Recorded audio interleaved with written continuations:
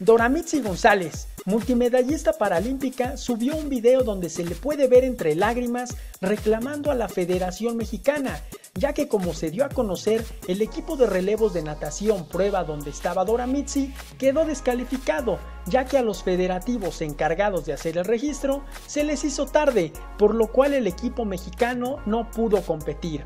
Doramitzi dijo que truncaron su sueño ya que estaba segura de que ganaría una medalla para México y su historial la respalda. Apodada la Michael Phelps de los Paralímpicos, es ganadora de 5 medallas de oro y 11 medallas en total en dicho evento. Estoy muy triste porque el día de hoy se iba a dar el relevo 4x50 mixto. Y pues resulta que llegaron tarde a la alberca. Y no les hace, no les aceptaron el relevo. Y no lo pudieron inscribir. Esto pasa por llevar a gente que no sabe.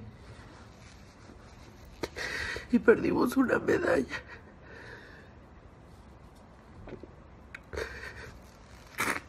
Me duele mucho porque ellos no me van a dar todo lo me tocaba. Nosotros íbamos a pelear una medalla.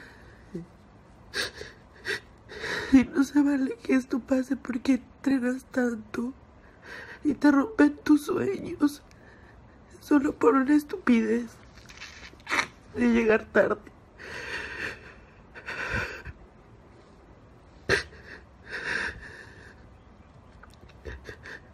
Te entrenas tanto, te dedicas tanto. No se vale que te hagan esto.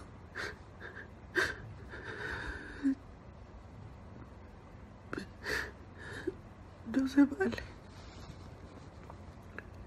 Al parecer los federativos no aprenden, ya que en las Olimpiadas Castillo encargado de la CONADE se preocupaba más por andar paseando con su pareja llevada con recursos de la CONADE que por sus atletas, y ahora en Paralímpicos los federativos vuelven a ser de las suyas, echando a perder cuatro años de esfuerzo y preparación de quien quizás sea la mejor atleta paralímpica en la historia de este país.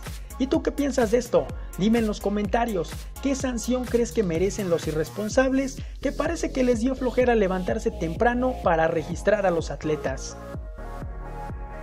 Si te gustó este video, dale like y compartir, ya que todos los días te traeremos el alboroto de los famosos.